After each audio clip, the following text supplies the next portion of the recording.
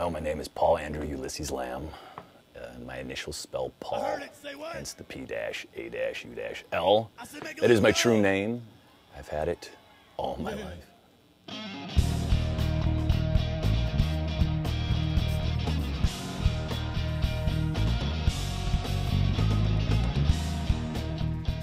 from uh, a little neighborhood, a little blue collar community, east side of Detroit City called Harper Woods. That's where the music is born and bred.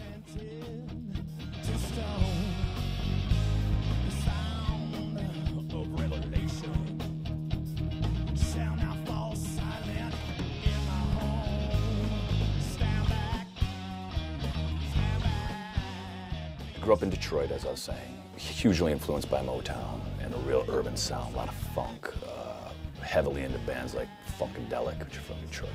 Truly taught me showmanship more than anything.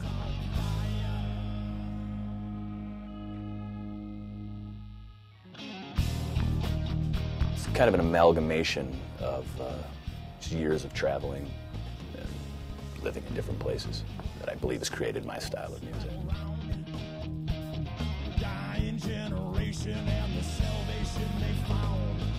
Be making records as often as I am, the greatest form of self expression.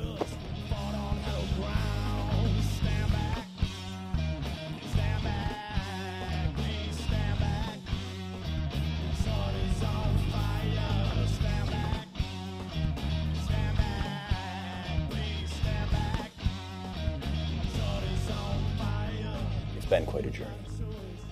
Um, every album is a, is, is a, a whole new expression of where you're at and why you're at for the moment and the ideas that you're cultivating because it's just a split second in time. It's an iota of time where you're giving it your all. Some nights you're on, some nights you're off. That's just the nature of the beast. Uh, but it definitely, it's a constant reinvention of yourself.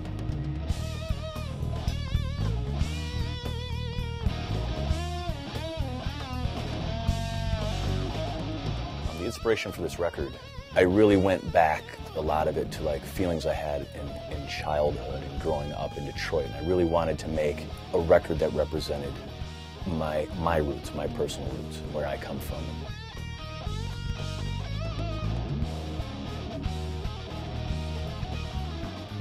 All the songs on this record represent uh, what I was after. I had originally demoed out almost 30 songs, and we whittled it down to the 10 that made the record. Detroit is on fire is you know a prime example of growing up in the auto industry and where the auto industry is at now.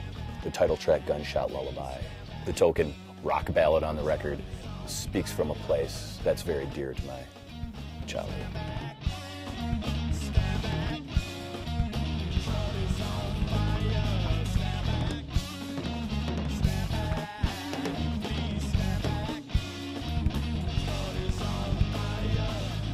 I didn't choose music. You know, music chose me, and so I'm in it.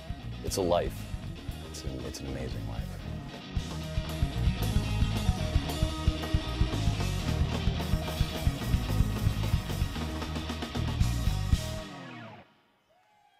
Yeah, thank you.